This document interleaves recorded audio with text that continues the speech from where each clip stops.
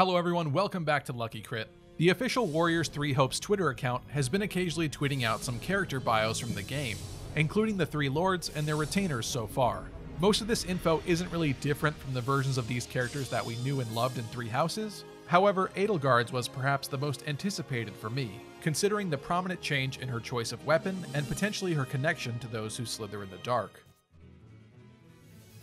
Edelgard, Princess of the Adrestian Empire and sole heir to the throne, Bound by shackles both within and beyond the Empire, she seeks a future where she can escape her curse. Her noble and dignified appearance occasionally gives way to anxious feelings.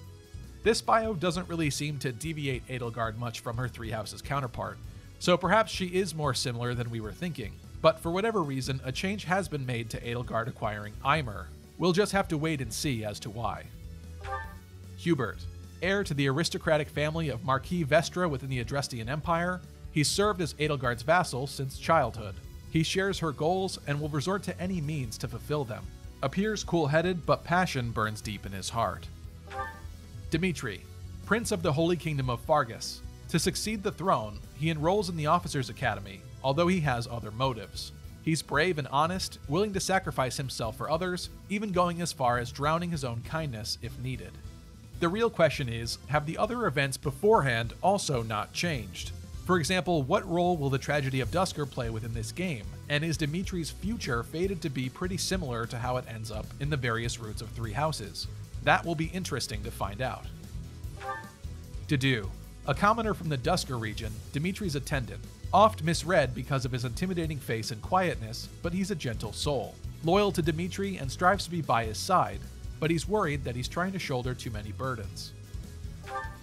Claude, heir to House Riegan, which rules over the League of Nobles, the Leicester Alliance. Approaches everyone with a friendly smile, but his aloofness shrouds his inner thoughts.